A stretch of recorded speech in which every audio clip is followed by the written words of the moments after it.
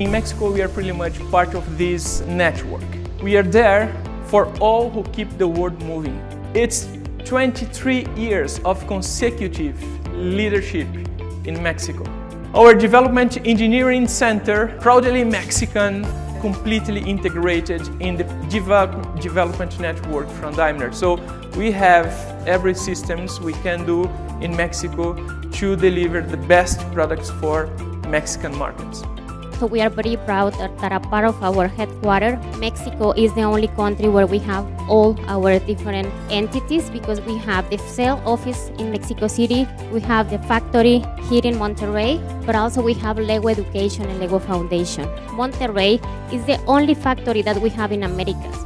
Is the largest factory that we have in the world. I think that we are, with our example, demonstrating that Mexico is a good place to invest.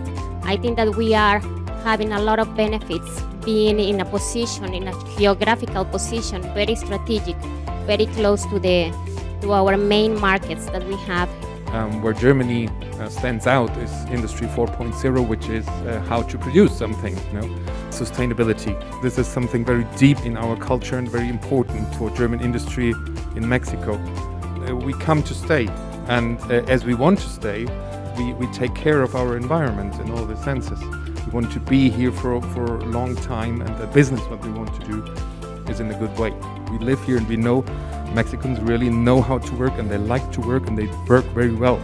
So if we combine that with our knowledge how to, to, to, to implement this in, in a good operational way, we really can uh, boost our economies together. UK is becoming more and more of just like a leader in innovation uh, in the global stage. What I think is also key in the economic resilience of the UK is how we actually we grow and how we reinvest that money. Yes, we want to sustain certain industries, but we also got to move on with you know what's happening today, what's happening tomorrow. You know, we've already recently built up a, a portfolio of clean tech companies that are interested in uh, in Mexico.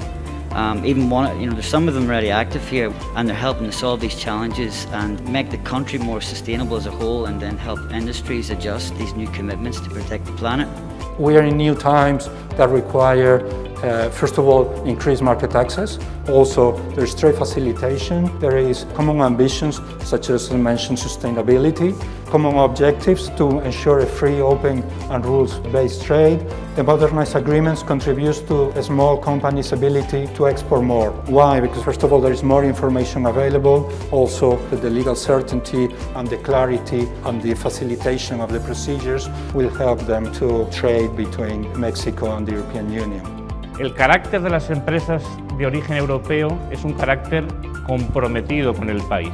Y no tengo ninguna duda por lo que he visto aquí hoy en Invest Monterrey o por lo que sé de esta ciudad y de este país, que México es un buen lugar para la inversión, pero Monterrey y Nuevo León lo es especialmente, por las condiciones, por el aprecio al inversor que decía y por lo que facilita para que las personas y las empresas venidas de otros lugares del mundo puedan invertir aquí. El contenido de esta mañana ayuda a argumentarlo y la historia y la realidad de Monterrey ayuda a apuntar a esa dirección. Creo que estamos en un buen lugar para la inversión de empresas europeas en México. Muchas gracias.